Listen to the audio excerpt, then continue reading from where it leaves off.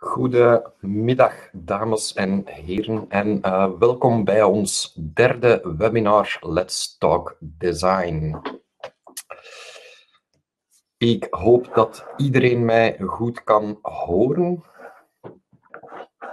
Ik ga hier eventjes kijken om onze... Yes, Caro kan mij horen, zie ik. Marleen ook, Els. Alright, top, goed. Denk dat alles dan in orde is om uh, van start te gaan. Uh, ik zie ook, ja, die mensen hebben al de chat ontdekt aan de rechterkant uh, van het scherm. er is aan het einde van deze sessie nog tijd voor Q&A. Dus als jullie vragen hebben, dan gaan we dat proberen te concentreren op dat Q&A-moment. Mijn collega Sarah die houdt mee de chat in het oog en zij zal ook vragen bijhouden zodat die zeker uh, behandeld worden aan het einde. Goed, um, in dit webinar gaan we het hebben over design en meer specifiek uh, naar het einde toe uh, hoe dat we een briefing gaan opstellen naar designers toe. dat is niet altijd even eenvoudig. Er is ook een reden waarom dat jullie naar hier zijn gekomen natuurlijk, om dit mee te volgen. En hoe ga ik daar eigenlijk naartoe werken? Wel, ik ga jullie een beetje meenemen in de wereld van designers. Um, ook in de software die, die mensen gebruiken. Um, als vierde puntje gaan we het over het designproces hebben als geheel. En we gaan het ook een beetje over terminologie en termen en principes die vaak voorkomen in de grafische wereld. Want ja, daar draai je het eigenlijk allemaal om. Om een goede briefing te kunnen gaan geven, moeten we wel met een beetje kennis van zaken over bepaalde dingen kunnen gaan praten. Wat dan niet evident is. En daarom dat ik daar toch heel wat onderwerpen als oriëntatie hierin verwerkt heb. Uh, om daartoe te komen en eigenlijk uh, alle dingen die in een briefing moeten staan of aan bod komen, dat dat duidelijk is waarom en wat het belang van die zaken is. So, let's get started. Ik zou het graag eens eventjes willen hebben over designers. Designers, um, die worden nogal gemakkelijk ja, met die ene term eigenlijk benoemd. Grafisch vormgevers of webdesigners. Um, maar eigenlijk is dat een, ja, een heel breed gamma dat daar uh, rondloopt in die wereld. Uh, allemaal met hun eigen specialiteiten of juist ja, het omgekeerde. Je hebt specialisten, maar je hebt ook generalisten die eigenlijk in heel wat markten thuis zijn. Nu, de wereld van grafisch ontwerp, hoe ziet die eruit? En pin mij hier niet op vast, maar de grafiek die je hier ziet is eentje die ik zelf heb um, ontwikkeld vanuit mijn eigen perspectief of hoe dat ik die wereld rondom mij eigenlijk zie. dus um, de wereld van visuele communicatie Daarbinnen zie ik zelf drie grote disciplines, of, of zeer verschillende disciplines. Hè. Um, ik ga starten met het digitale. Het digitale, daar situeert zich um, alles wat webdesign is. Um, met als uiterste hebben we daar echt virtual reality of virtuality. ja, dat zijn disciplines die puur en alleen digitaal uh, bestaan. Aan de rechterkant zie je materieel de arts and crafts. Um, daar vinden we zaken zoals uh, beeldhouwen, schilderkunst. Dat zijn uiteraard geen digitale disciplines, maar het zijn ook creatieve disciplines. En onderaan heb ik um, de audiovisuele kunsten eigenlijk gezet. En audiovisuele kunsten, dat gaat ook van uh, video uh, naar film, theater, muziek en de performing arts. Dat is dan eigenlijk ook een uiterste daar, daarvan waar dat eigenlijk uh, een mens en zijn lichaam het hele kunstwerk of de creatie vormt, om het zo te zeggen. Nu, we zien ook dat daar overlappingen in zijn, wat dan natuurlijk uh, ja, een beetje normaal is. Hè. Zeker uh, in hedendaagse visuele communicatie zijn er zeer veel overlappingen. En ook als we kijken naar um, creatieve projecten, um, dan zijn daar vaak uit die verschillende disciplines heel wat skills nodig. Um, dus dat is een zeer boeiende wereld. Uh, ik heb ons, de designers, daar smack in de middel geplaatst, hè, op, de, op de crossroads van al die kunsten. Um, maar wij zitten daar niet alleen. Um, ik denk dat ook de dag van vandaag zeker mensen uit communicatie, uit marketing en sales, die bevinden zich samen met de designers eigenlijk in het midden uh, van al die kunsten. En zij zijn daar dus, uh, zij moeten een beroep doen op al die kunsten. Right, dus er zijn eigenlijk veel uh, specialisaties natuurlijk op dat gebied. Nu, ik denk een goede designer die gaat kennis uit al die disciplines gaan, gaan trachten te verbinden om u als persoon in communicatie of in marketing uh, daarmee verder te gaan helpen met de projecten die moeten gerealiseerd worden. Nu, het is niet zo eenvoudig om natuurlijk die personen te gaan vinden of daar, om daar in het begin een onderscheid te maken tussen uh, ja, wat kan de ene designer, wat kan de andere voor u bieden. En daarom ga ik doorschakelen naar ook een keer uh, de software van Adobe. Zodat we daar een beetje een onderscheid leren maken tussen wat dat wat is, zodat je beter kunt gaan peilen als je met iemand moet samenwerken van ja, gaat hij dat kunnen? Gaat hij mij kunnen helpen met de dingen die ik moet uh, uh, gaan produceren voor social media of voor e-mailings bijvoorbeeld? Goed, so let's prepare for takeoff. De software. Um, ieder van jullie zal wel vertrouwd zijn, denk ik, met Adobe. Adobe is de marktleider als het aankomt op creatieve software. Um, en dan specifiek als we het over creatieve software hebben, uh, dan hebben we het over Adobe Creative Cloud. Nu, er zijn nog andere clouds bij Adobe. Uh, ze hebben ook bijvoorbeeld de Experience Cloud en de Document Cloud voor mensen in marketing. Het is misschien mogelijk dat je, dat al een keer uh, in contact bent gekomen met Experience Cloud. Eigenlijk heeft Adobe ook een uh, allesomvattend marketingplatform. Een beetje vergelijkbaar met een HubSpot bijvoorbeeld. Um, maar naar wat ik ervan weet, pardon, naar wat ik ervan weet van de Experience Cloud, is dat um, pretty expensive. Um, er zijn vooral de grote bedrijven uh, die daarmee aan de slag gaan. Ik denk dat HubSpot ietsje meer gericht is op de KMO. Uh, daarnaast hebben we ook nog de Document Cloud. De Document Cloud, um, dat situeert zich allemaal rond Acrobat en de daaraan gekoppelde services. Een van de grote die daar nu aanhangt is het e-sign-platform van Adobe, uh, waar dat we contracten kunnen gaan uitsturen en laten ondertekenen, bijvoorbeeld. Dus het is veel meer bij Adobe dan gewoon de creatieve applicaties. Uh, zij werken hard aan het verbinden van al die platformen om eigenlijk een workflow te kunnen gaan creëren waarin dat alles zeer goed met elkaar communiceert. En dat is natuurlijk in een, in een creatief proces. Um, en in een marketing- en salesproces is communicatie essentieel om dat efficiënt en vlot te laten verlopen, denk ik. Goed, als we even terugschakelen naar de Adobe Creative Cloud. Uh, er zijn zeer veel applicaties van Adobe. Voor de desktop alleen zijn er uh, een zestiental point applications, zoals we dat noemen. Ik ga zo dadelijk ingaan op een aantal van de grote. Maar naast desktop software um, heeft Adobe ook nog een hoop mobiele applicaties um, die gebruikt kunnen worden. En zij hebben ook nog een hele hoop webservices. Maar ik denk dat we ons uh, wel kunnen concentreren op gewoon de desktop-applicaties, zodat jullie um, een beetje kunnen oriënteren in wat wat is en wat dat je nodig hebt om bepaalde projecten tot een goed einde te leiden. Zo laten we het een keer eventjes hebben over de grote applicaties. Um, ik heb voorop een redelijk recente applicatie geplaatst, Adobe XD.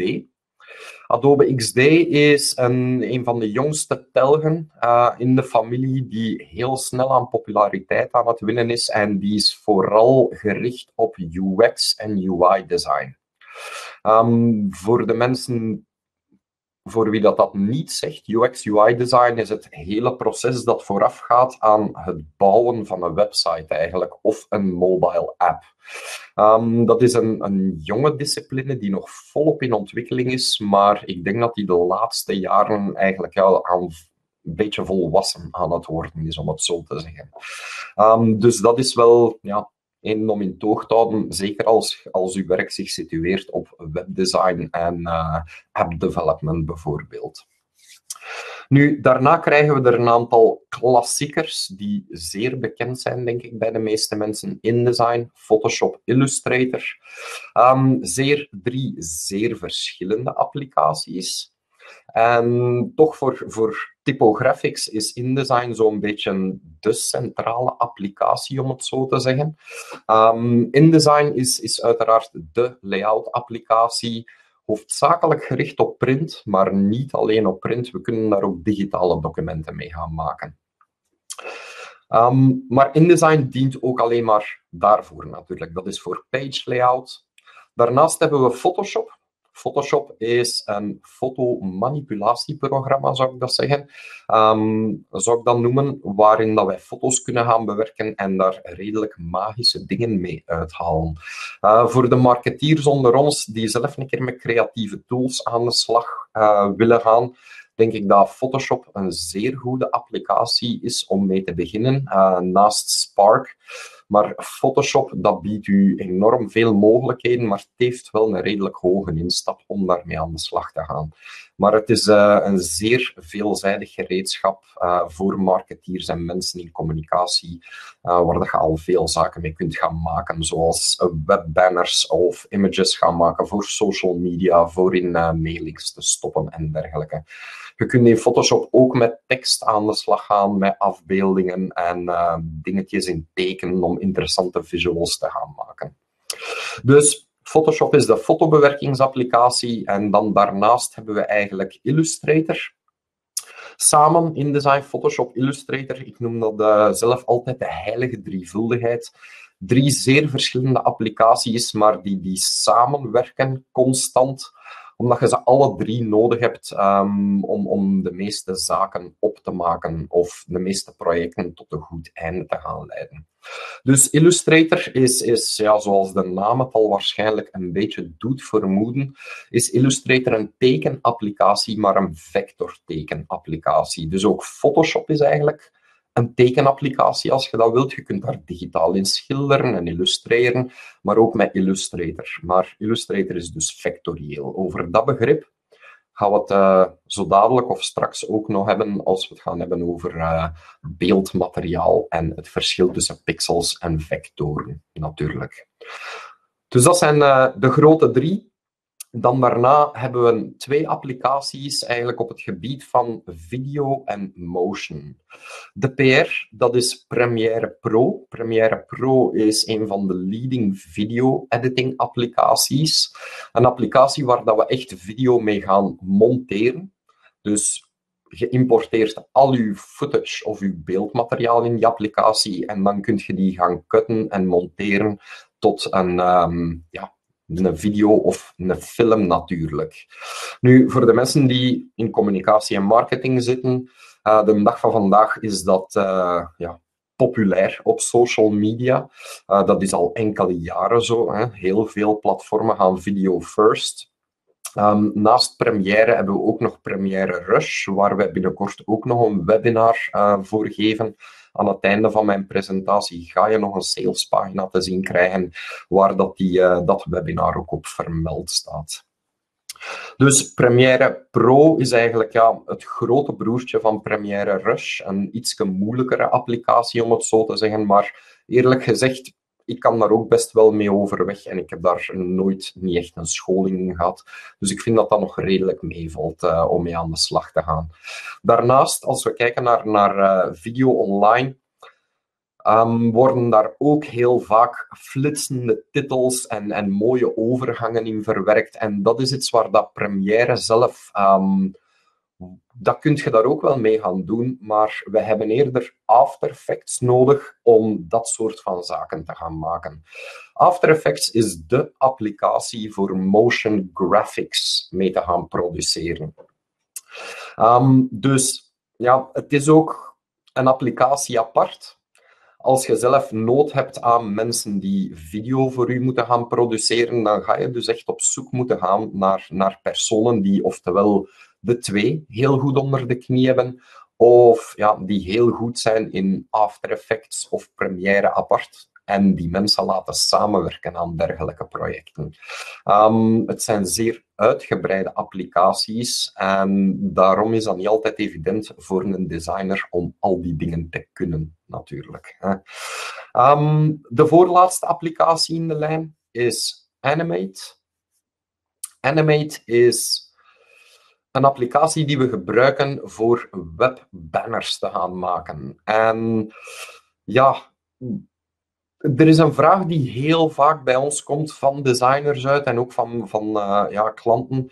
Wat is het verschil tussen Animate en After Effects? Omdat je soms online ja, verwarrende informatie gaat vinden. Um, dat banners ook kunnen gemaakt worden met, met After Effects bijvoorbeeld of evengoed met Animate. Maar wat is het grote verschil? After Effects situeert zich echt in de videoproductiewereld. En de output van After Effects zal dan ook puur video zijn. MP4-bestanden of andere. Animate daarentegen, daarmee kunnen we banners gaan maken waar de interactiviteit in mogelijk is. En de output van Animate, hoewel dat je daar ook video mee kunt gaan exporteren, um, is een van de, grote dingen van Animate, dat we daar HTML-banners mee kunnen gaan maken. Dus voor al die mensen die um, bannering-campagnes opzetten, het zijn met Google um, of met andere platformen, daar ga je moeten eerder op zoek gaan naar iemand die zeer goed is in Animate. Want het is in Animate dat je daar buttons in kunt gaan stoppen, interactievragen van de kijkers. En dat je een heel ander soort van, van banners mee kunt gaan bouwen dan met After Effects, die eerder gewoon puur video zijn. Ja. En dan de laatste in de lijn, die geef ik ook nog eens even mee, dat is Lightroom. Lightroom is de applicatie voor fotografen. Um, fotografen neigen veel meer naar een dergelijke applicatie voor fotobewerking dan Photoshop toch vaak. Omdat Photoshop, zoals ik daarnet zei, is eigenlijk fotomanipulatie. En Lightroom, dat is echt ja, wat dan een fotograaf vroeger deed in een donkere kamer. Daar heeft hij nu een applicatie zoals Lightroom voor. Maar die heeft geen geavanceerde manipulatiemethodes zoals bijvoorbeeld hoofden verwisselen of een persoon weg gaan photoshoppen en een andere in de plaats zetten. Dat kun je niet met Lightroom. Daarvoor heb je dan weer wel uh, Photoshop eigenlijk nodig. Ja. Nu nog een laatste ding over al die applicaties. Ikzelf, ik, uh, ja, ik werk ook al een, een, vijftiental jaar in de grafische sector. Um, vaak wordt er veel verwacht van een designer. Hè. Um, wij krijgen vaak de vraag om, om dingen te gaan maken die, die zich eigenlijk in heel verschillende disciplines um, gaan bevinden. En het is net als voor jullie, uh, die briefings moeten maken en, en creatieven moeten zoeken om mee samen te werken, even moeilijk om de juiste persoon voor de juiste job te vinden, als voor ons om, om ja, aan de vraag van de klant te kunnen voldoen. Want wij krijgen al die vragen naar ons toegestuurd, maar het is niet altijd evident om, om daar natuurlijk aan te kunnen voldoen. Um, dus ja, wij doen ons best en jullie doen, ons, doen jullie best om, om de juiste personen uh, te vinden, zou ik zo zeggen. Alright. Goed, heel verschillende disciplines dus allemaal en de juiste personen zoeken. Er zijn dus heel veel apps en die vragen veel oefening en veel ervaring om daar uh, vlot mee aan de slag te gaan. Alright, het creatieve proces in vogelvlucht. Ik heb het creatieve proces voor jullie opgedeeld in basically drie grote fases die ik zelf daarin onderscheid. En dat is concept, uitwerking en productie. Um, dat zijn drie zeer verschillende fases ook weer in een creatief proces, waar dat ook weer heel andere kennis en, en ja, heel andere kennis en vaardigheden met bepaalde software aan te pas komen. Dus ook daar weer moeten goed kunnen gaan differentiëren wat voor persoon heb ik nodig. Want zoals ik zeg, de designers dat daar buiten rondlopen, die hebben allemaal hun sterktes en hun zwaktes. Dus het is echt um, ja, een zaak van een goede te zoeken voor dat bepaald deel van het proces. Um, ik weet ook uit ervaring, er zijn designers die zich niet over de hele lijn hier kunnen gaan bewegen, hè, die bijvoorbeeld heel sterk zijn in concepten uitdenken, maar die eigenlijk niet zo goed zijn in de uitwerking. Um, een beetje een voorbeeld daarvan. Ik werk nu al um, ondertussen 11 jaar bij Typographics. Ikzelf, ik ben mijzelf gaan bekijken als een desktop publisher en niet zozeer meer als een designer. Nu, wat is het verschil eigenlijk tussen een, designer en, en een desktop publisher? Voor mij is dat het verschil tussen iemand die de auto ontwerpt en iemand die hem bouwt en kan repareren. De technicus en ja, de ontwerper. En een desktop publisher is volgens mij iemand die heel vaardig is met de software um, en ja, daar veel verder in kan gaan. Maar ik heb gemerkt bij mezelf ook, ik heb me gespecialiseerd in die software. En met specialisatie moeten denk ik soms een prijs betalen dat het conceptuele of het creatieve wel een keer um, achteruit gaat. Dat is ook wetenschappelijk bewezen. Dat als je specialiseert in zaken, um, dat de creativiteit op een bepaald punt zou kunnen beginnen dalen. Dus, maar we hebben drie grote fases. Het concept, um, wat vinden we daarvoor voor eigenlijk uh, skills in terug? Um, in de conceptuele fase wordt er heel veel geïllustreerd, getekend, om, om een idee te kunnen gaan visualiseren. Er moet ook geschreven worden, bijvoorbeeld copywriting is ook iets dat zich situeert tussen, ik denk dan eerder concept en uitwerking. Maar bij concept vinden we ook onderzoek, marktonderzoek, salesanalyse. Dat zijn, um, dat zijn drie onderwerpen die eigenlijk uh, meer horen bij, ik denk, het gros van onze, onze deelnemers vandaag. Mensen die in communicatie en in marketing en in sales werken. Dus je ziet al in de conceptfase, daar zitten wij allemaal te samen aan het begin van het proces. En moeten wij al zeer goed gaan samenwerken en informatie uitwisselen om eigenlijk naar een volgende fase te kunnen gaan, naar de uitwerking. Daar vinden we meer specialisaties. Hè. Daar hebben we ons grafische vormgevers, fotografen nodig, videografen. Um, daar vinden we ook architecten, om een keer even buiten grafische vormgeving te gaan. Hè. Daar hebben we dus ook architecten, de motion designers, UX, UI designers en ook de copywriters hier natuurlijk. En dan voor mij persoonlijk nog een heel aparte fase die, die eigenlijk nog technischer wordt. Dat is de productiefase. Um, daar vinden we onze drukkerijen, developers, wat dat iets heel anders is dan UX of webdesigners bijvoorbeeld. Development, dat zijn de mensen die coderen natuurlijk. En coderen of developen heeft, heeft nog weinig te maken met design eigenlijk. Um, we vinden daar ook constructie, hè, weer teruggrijpend naar architectuur bijvoorbeeld. Een architect is niet altijd degene dat met de kranen gaat gaan rondrijden natuurlijk. Hè. En uh, in productie vinden we ook nog een keer de desktop publishers, die daar eens apart plaats, omdat dat zo toch wat meer de techneuten zijn die uh, bepaalde projecten tot een goed einde moeten gaan leiden. Dus dat is even in vogelvlucht, zou ik zeggen, het, het creatieve proces. Goed. Nu, nog één dingetje over dat creatief proces. Um, wat ik de, de voorbije jaren of tijdens mijn carrière eigenlijk gemerkt heb. Um, er is een individualisering aan de gang, om het zo te zeggen. Hè. Um, het, het beetje uiteenvallen van van de grote agencies of het overzicht dat een beetje begint te verdwijnen. Uh, we zitten in een markt waarin dat heel veel freelancers zijn en waar dat bedrijven of mensen in marketing en sales zo op hun eigen aangewezen zijn om die projecten tot een goed einde te gaan leiden. En er is daar naar de toekomst toe, denk ik, een belangrijke rol weggelegd, zeker voor mensen in sales en marketing, om meer kennis te vergaren over dit proces, ook technische kennis op al die punten in het proces, want het valt vaak aan, aan jullie ten deel om dit in goede banen te gaan leiden. Um, in het verleden, als je kijkt naar een agency-structuur bijvoorbeeld, of naar een creatief bureau, dan hadden we daar heel vaak wat we noemen de art director of de creative director. En dat was wat de persoon die eigenlijk het hele proces ging gaan begeleiden en, en, en kon gaan sturen. Maar we merken in de praktijk dat dat soort van rol niet altijd meer bestaat. En dat zorgt soms wel, wel een keer voor problemen, maar we komen er wel, denk ik. Het, ontbreken van iets gaat ervoor zorgen dat er iets nieuws in de plaats gaat komen. Dat gaat een nood creëren. En ik merk het zelf ook. Ik geef ondertussen al meer dan vijf jaar gastcolleges in marketingopleidingen.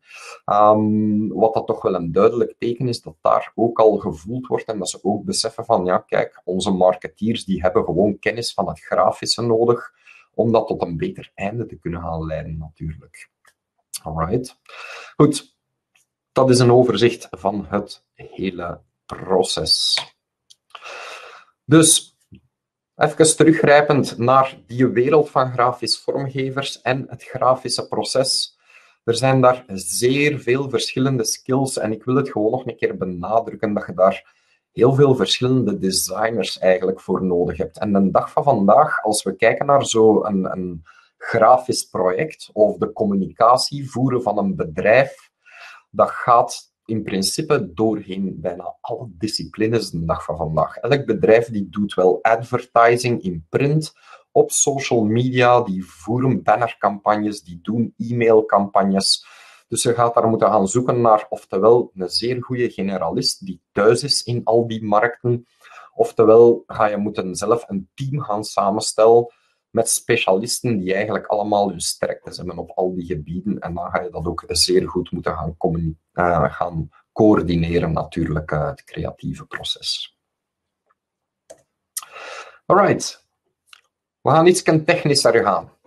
Um, het technische in het grafische proces of in het creatieve proces en ook naar een briefing toe, het technische is zeer, zeer belangrijk. Um, vaak als wij denken aan creativiteit, dan, dan hebben we daar misschien een iets romantischer beeld van. Hè? De, de kunstenaar, de tekenaar. Um, maar we hebben het hier eigenlijk niet over kunst met een grote K, maar over vormgeving, commerciële vormgeving, um, voor specifieke doeleinden. En ja, daar komt heel veel techniciteit bij kijken. Als we kijken naar drukwerk, als we kijken naar social media, dat heeft allemaal zijn technische eigenheden.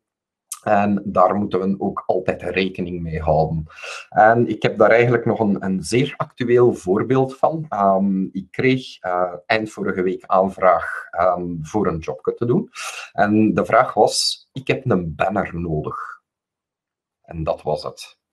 Dus qua briefing is dat zeer minimaal en dan moeten we daar maar mee aan de slag. Dus moet ik onmiddellijk vragen gaan stellen.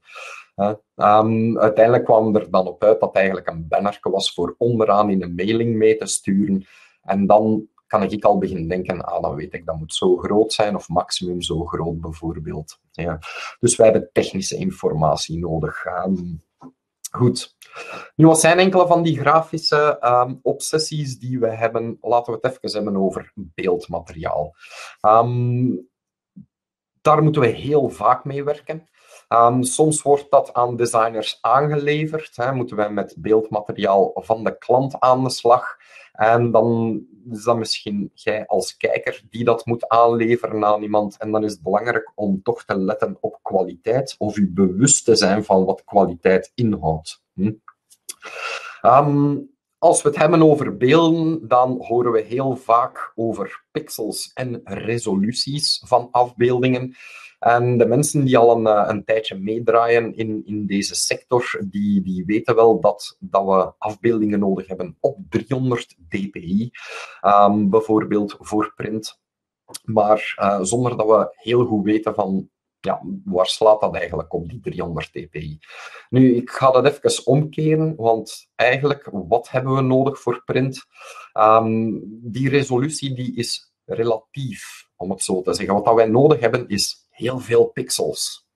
Um, een heel praktisch voorbeeld, als je naar de winkel gaat en je gaat je een nieuwe smartphone gaan kopen, of je gaat je een digitaal fototoestel gaan kopen, wat is dan uh, de USP waarmee dat ze u altijd over, over de lijn trachten te trekken om, om u dat ding te verkopen? Dat is het aantal megapixels dat een camera heeft. Megapixels. Oké, wat wil dat eigenlijk zeggen? Um, wel, dat is wat dat de kwaliteit van het beeld bepaalt dat dat toestel kan gaan trekken. En um, een heel makkelijk voorbeeld voor mij om het uit te rekenen. Um, de meest courante smartphones hebben bijvoorbeeld een 12 megapixel camera. En dat wil omgerekend zeggen dat dat beeldje schiet van 4000 op 3000 pixels. Ehm, dat is oké.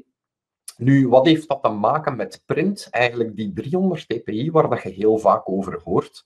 Dat is eigenlijk de printresolutie. Dat is waarmee dat we gaan printen op papier. En dat is niet noodzakelijk 300 dpi. Um, mooiere drukwerken of, of meer kwaliteitsvolle drukwerken, zoals kunstboeken en, en mooie publicaties, die gaan we ook op een hoger dpi, soms 600, soms 1200 dpi. Oké? Nu, even teruggrijpend naar 300 dpi. Wat wil dat nu juist zeggen? Als wij op 300 dpi gaan drukken, dpi staat voor dots per inch, dan gaan we 300 pixels nodig hebben per inch op papier. Een inch is 2,4 centimeter. Jullie hadden waarschijnlijk niet verwacht dat er wiskunde bij ging komen kijken, maar daar zijn we nu dus. Dus per inch 300 pixels per 2,4 uh, centimeter. En dan kunnen wij gaan uitrekenen. Als ik een foto heb van 3000 pixels breed, dat wil zeggen dat ik daar 10 inch, gedeeld door 300, 10 inch mee kan gaan bedrukken. Um, of omgerekend ongeveer 24 centimeter. Dus een 12 megapixel foto zal goed zijn om een A4'tje volledig mee te vullen in de breedte. Hebben wij echter affiches en dergelijke dat we gaan gaan drukken, dan moeten we eigenlijk hogere kwaliteit beelden gaan hebben. Dus dat even over kwaliteit, dat kun je zelf al in toog houden als je dingen gaat gaan moeten aanleveren, beeldmateriaal gaan aanleveren, gaat dan altijd kijken naar de pixelafmetingen dat een afbeelding heeft. Um, nu, dat is niet altijd betrouwbaar, het aantal pixels, want als we bijvoorbeeld kijken naar een applicatie zoals Photoshop, met Photoshop kan ik een afbeelding van 100 op 100 pixels omzetten naar een van 3000 op 3000 pixels. Um, maar dat heeft zijn gevolgen. Daar ga je op afgestraft worden, want je gaat eigenlijk de kwaliteit naar beneden halen, om het zo te zeggen. We kunnen een foto altijd opblazen, maar Photoshop kan geen wonderen verrichten. En hier eigenlijk in de presentatie zie je daar een voorbeeldje van ook. En dat is ook iets dat je in toog moet houden als je beeld, beeldmateriaal gaat gaan zoeken. Wat dat we zien in deze foto van Tatomium hier bijvoorbeeld, zijn zo die vuile randjes rond de bol en uh, de verbindingsstukken tussen die, uh, die bollen. En dat is wat we noemen artefacten, die puntjes dat daarin zitten. En dat is eigenlijk compressieschade of, of kwaliteitsverlies dat is opgetreden. Dus dat is ook al een indicator van, hm, dat is eigenlijk niet zo'n goed beeld. Nu, de clue is hier, voor rasterbeelden, zorgt voor voldoende pixels. Um, designers hebben heel graag de grootst mogelijke kwaliteit dat je kunt bieden. Want dat gaat ons werk pak gemakkelijker maken als we die foto's moeten gaan bewerken of verwerken ergens. Right? Goed. Tweede grote groep, als het aankomt op beeldmateriaal, dat zijn vectorbeelden. Nu, wat is het grote verschil daartussen? Um, vectorbeelden, dat zijn eigenlijk beelden die, die wiskundig onderbouwd zijn. En je ziet hier aan de rechterkant in die afbeelding een soort van vlammetje dat daar getekend is. Het oranje tekeningetje. Maar links daarvan zie je de onderliggende opbouw, de vectoriële opbouw dat er eigenlijk achter zit. En je ziet dat zijn puntjes, een beetje zoals uh, dat connected dot spelletje van vroeger, dat zijn punten die verbonden zijn met elkaar. Maar de clue van vectormateriaal is dat dat oneindig schaalbaar is. Dus we kunnen dat gemakkelijk opblazen en dan op eender welk formaat gaan gebruiken. Daarom dat dat ook uh, het standaard uh, formaat is voor alle logo's uh, bijna op deze planeet. Um, waarom? Een logo dat wordt heel vaak toegepast van een balpen, zoals hier bijvoorbeeld, tot banners die hier buiten aan het gebouw hangen, soms 20 op 20 meter als dat nodig is. Dus we moeten dat oneindig kunnen opblazen. Dus dat is het verschil tussen vectorbeelden, die zijn wiskundig onderbouwd, beste kwaliteit voor druk en rasterbeelden. Uh, vectorbeelden, dat wordt dus heel vaak met Illustrator gemaakt en de meest voorkomende formaten daar zijn .ai, dat is Adobe Illustrator, EPS en SVG-formaatjes. Dat zijn allemaal vectoriële bestandsformaten. Dus heel belangrijk voor designers dat dat ook aangeleverd wordt. Wij worden zeer ongelukkig als we uh, eigenlijk een logo aangeleverd krijgen als JPEG of PNG. Uh, want wij weten, ja, we gaan daar niet zomaar alles mee kunnen doen wat we willen. Dus een belangrijk onderscheid. Aanlevering van beeldmateriaal is dus zeer essentieel. Vooral dat kwalitatief is, is zeer essentieel voor ons. Um, een tweede punt dat ik ook graag aanhaal uh, in, in dingen die, die vaak ja, een pijnpunt vormen in onze flow, dat is copy, aanlevering van tekst. Goed, um, ik weet dat dit een droom is, als we dat willen, maar copy bij de start van het opmaakproces, finale copy, ja, dat is een droom voor ons als we dat kunnen hebben. Maar in de realiteit um, is alles nog ongoing vaak als we aan een proces, aan, aan, een project moeten beginnen. Hè. Dus we werken nog aan de copy, die is niet finaal. Maar ik leg daar toch nog een keer graag de nadruk op dat je zorgt dat die dingen er finaal al zijn. Waarom? Omdat in bepaalde soorten van opmaak, als ik denk aan een, een jaarverslag of aan een grote brochure of catalogus, um, dan is het aanleveren van copy tijdens ja, het verloop van het project soms pijnlijk eigenlijk. Waarom? Omdat wij dan uh, heel vaak stappen terug in het designproces moeten gaan maken om die copy daarin te gaan stoppen.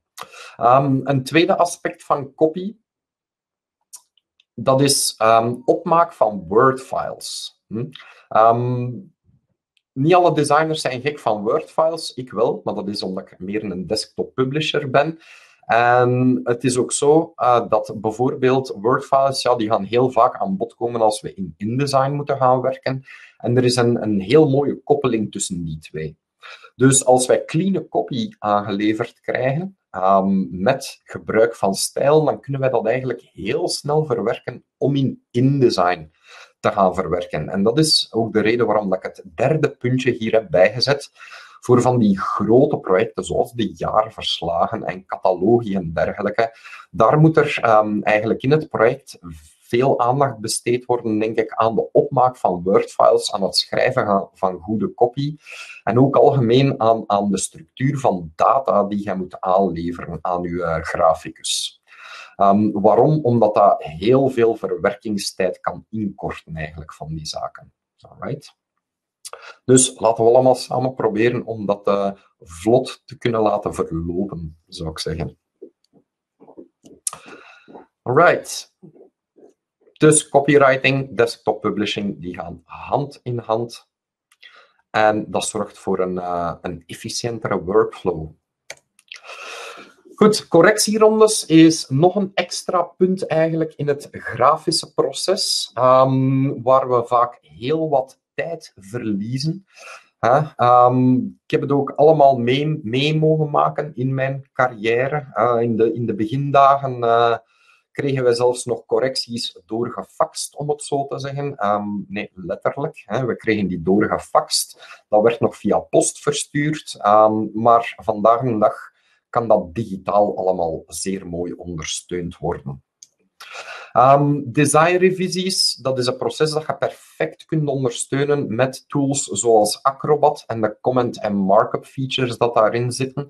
En sinds vorig jaar hebben ze bijvoorbeeld in InDesign een uh, nieuwe functie uh, eigenlijk voorzien waarbij dat we de comment en markup kunnen importeren uit een PDF. En dan gewoon rechtstreeks in onze InDesign opmaak kunnen gaan bekijken en de revisies gaan verwerken. Um, dat is een tool dat voor iedereen toegankelijk is in principe. Het moet geïnitieerd worden door de designer. Die moet een PDF gaan exporteren. En die kan dan een revisie uitsturen naar uh, de klant. Nu, de klant die moet over Acrobat beschikken. Maar het volstaat om over Acrobat Reader te beschikken en dat is gratis uiteraard, om daar dan de comment- en markup tools in te gaan gebruiken. En nadien kun je dat netjes terugsturen uh, naar uw designer en die kan dat eigenlijk heel snel gaan verwerken. Hm. En Designrevisies moeten ook, uh, denk ik, heel goed gestructureerd worden.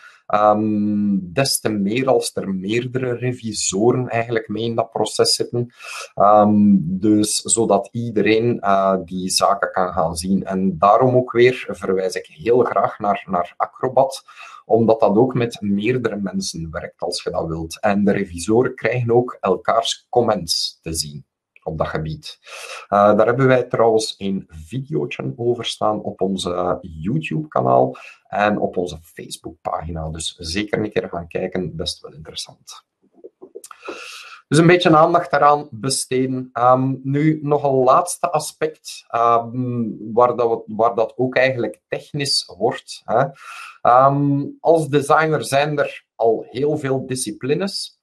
Die disciplines zijn heel vaak gebonden aan verschillende types van media. Um, en er zijn zeer veel types van media. En dat weet je zelf ook wel in je eigen marketing of sales workflow. Um, dat jij voor heel veel kanalen moet uh, assets gaan voorzien.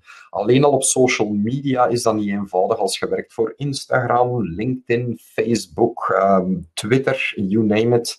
Uh, die hebben allemaal hun eigenheden, allemaal hun eigen formaten. Nu, daarbinnen zitten we eigenlijk in dezelfde soort van groep hè, qua techniciteit. Wij moeten pixelafmetingen weten en um, wij moeten weten welk kanaal bijvoorbeeld, om te weten wat dat de sizes daar zijn die moeten gebruikt worden.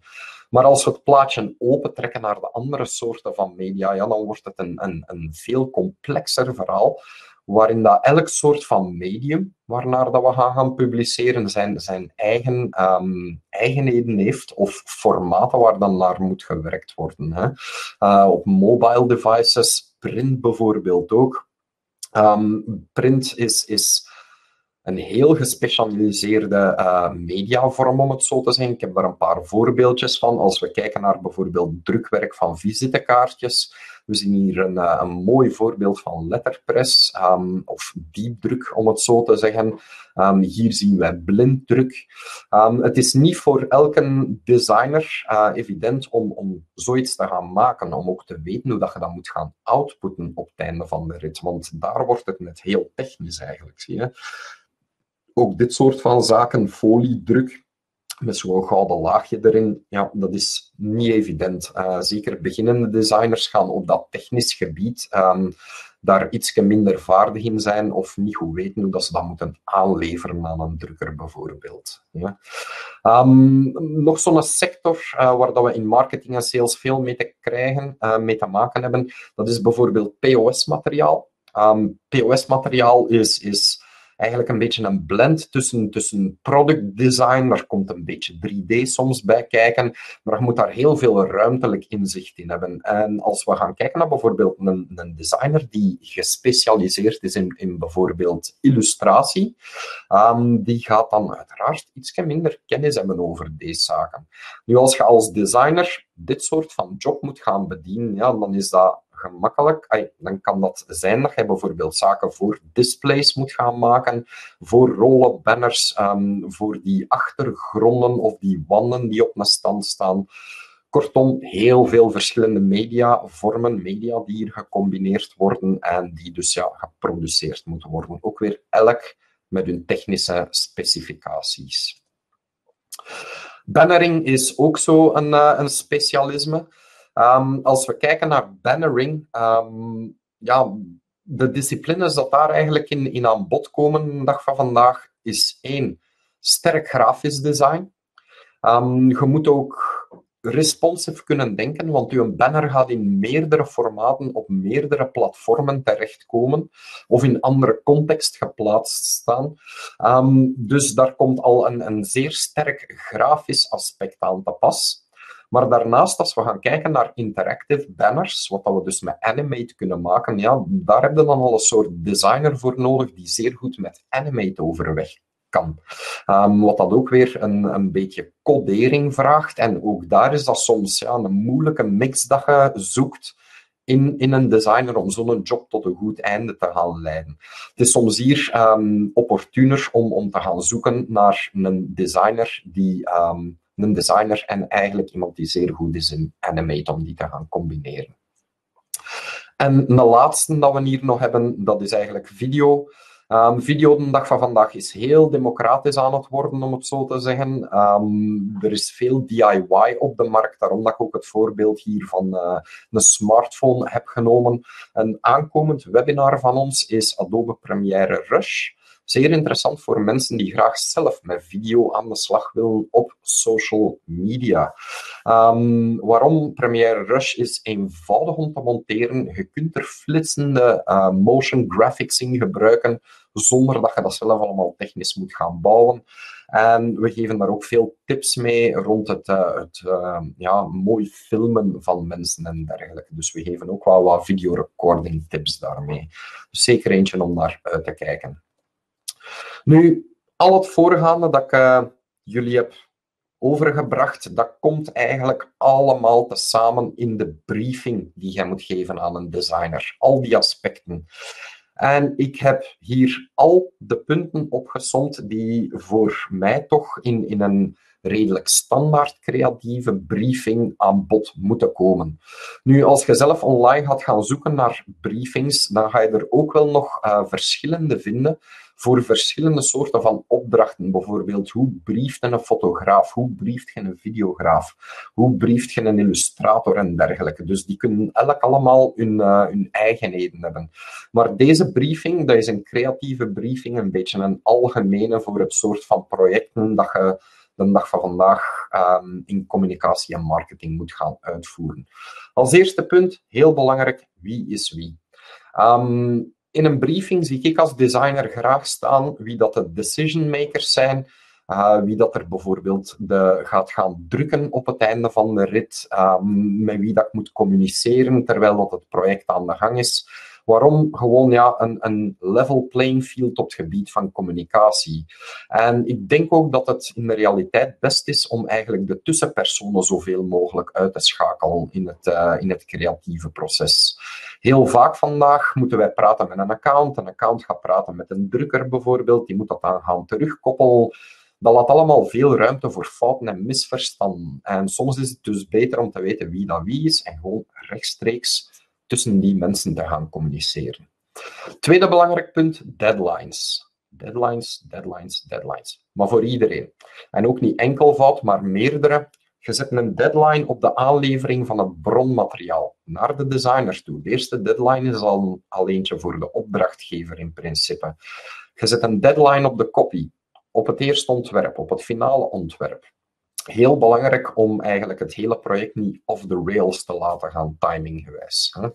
Een derde heel belangrijk onderwerp, uh, of deel van een briefing, is de omschrijving van het project en het doel, en ook de doelgroepen. Op basis daarvan, op basis daarvan um, kunnen wij onderzoek gaan doen als designer naar wie is die een doelgroep, wat voor soort vormgeving kan die een doelgroep aanspreken. Dus again, een briefing is niet van ik heb een banner nodig, want daarmee weet ik natuurlijk niet genoeg. Hè. Dus dat is heel belangrijk voor ons. Ook de stijl waarin dat we mogen gaan werken of kunnen gaan werken. Soms kan dat aangeleverd worden in de vorm van een moodboard of heb je eigenlijk al een corporate stijl van waaruit dat we moeten gaan vertrekken. Dus je levert ook best altijd je brand guide aan naar een designer. Um, heel belangrijk onderdeel, de scope en de technische info. Twee dingen die aan elkaar hangen eigenlijk. De scope, daarin ga je eigenlijk al de output gaan beschrijven. Als ik denk bijvoorbeeld aan uh, het project is, we gaan naar een beurs of op een event gaan staan en wij hebben daar een stand voor nodig. Dat is een groot woord, een stand. Dan wil ik in de scope zien dat je daar een balie gaat staan hebben op je stand, dat er een display gaat hangen, hoeveel displays, enzovoort. Gaan er roll-up banners bijgezet worden? Allemaal nodig om te weten wat dat, dat is, zodat wij ook een goede inschatting als designer kunnen maken natuurlijk uh, naar een offerte toe bijvoorbeeld. Hè. Dus scope, heel belangrijk. En daaraan gekoppeld is die, die technische info. Want van al de dingen die moeten gemaakt worden, moeten wij weten wat zijn de afmetingen, wat zijn de resoluties dat opgedrukt worden bijvoorbeeld. Um, dus dat is allemaal zeer belangrijke informatie in die briefing. Uh, de input van copy- en beeldmateriaal. Ik weet in de realiteit hinkt dat soms een beetje achter. Surtout copy, dat kan soms uh, wat in, ja, tijdens het verloop van een creatief proces uh, mee evolueren, maar laten we hier proberen om dat zo vroeg mogelijk in het proces toch finaal mee te hebben. En dan last but not least, um, iets dat vaak, denk ik, niet zo op een kaart altijd mee gespeeld wordt in, in de praktijk, is het budget. Ehm, het budget ook meegeven aan, aan de creatieve partij, aan een designer, is, is belangrijk. Waarom? Omdat die dan binnen het budget kan gaan denken, wat is er haalbaar? ook voor uw creatief agency kan die op basis van budget gaan bekijken, ah, eigenlijk voor dat geld kunnen we een bannercampagne doen, we kunnen een radiocampagne doen en we kunnen ook nog een flyercampagne eraan gaan koppelen. Of iets specifieker budget, dat kan voor ons ook betekenen, ah, op het gebied van print kunnen we al een keer iets, iets specialer gaan doen. Bijvoorbeeld, we kunnen iets met een kapvorm of met drukwerkveredeling gaan doen. Dat zijn zaken die sterk afhangen van het budget. Dus ook daar kan dat ja, natuurlijk voor ons nuttige informatie zijn om uh, ja, iets moois voor jullie te gaan maken, natuurlijk. En ik denk dat dat zo de hoofdpunten zijn die eigenlijk in een uh, creatieve briefing aan bod moeten komen. Goed, dat is um, veel informatie, denk ik, op 45 minuutjes plus 5. We zijn er een klein beetje over gegaan. Um, maar mijn collega vindt dat niet erg, denk ik. Goed, dus we zijn er een beetje over gegaan. Ik hoop dat dit uh, wat nuttige informatie was voor jullie. En ik wil nog een laatste keer teruggrijpen naar eigenlijk uh, mijn beeld hier van de sector. Um, om nog een keer te benadrukken, we zitten hier eigenlijk allemaal samen in het centrum van die communicatiestorm waar we al jaren in zitten. En we gaan er alleen maar doorkomen als we allemaal goed met elkaar praten, goed communiceren, open communicatie, transparant en een goede briefing opstellen. En misschien kunnen we vanaf vandaag een briefing minder als een, een top-down uh, document gaan bekijken en meer als een soort van contract tussen al die partijen die uh, meedraaien in deze sector. Goed, dit was um, mijn verhaal wat dat betreft uh, de briefing en alles wat dat daar aan gekoppeld is. Dan kijk ik nu eventjes of hier vragen zijn. Ik zie in de chat momenteel geen vragen. Of wij een template hebben voor een creatieve briefing. Die hebben wij zeker. Wij hanteren zelf intern um, een document daarvoor. Um, maar ook hetgene dat ik hier, ik ga eventjes teruggrijpen, het document dat hier rechts afgebeeld staat, de creatieve briefing, zal ik anders doorgeven aan mijn collega Sarah. En uh, dan kan zij dat meesturen in de follow-up e-mail die nog volgt uh, na dit webinar. Alright, Jolien, dat is zeer graag gedaan. Ik weet niet of er uh, nog vraagjes zijn.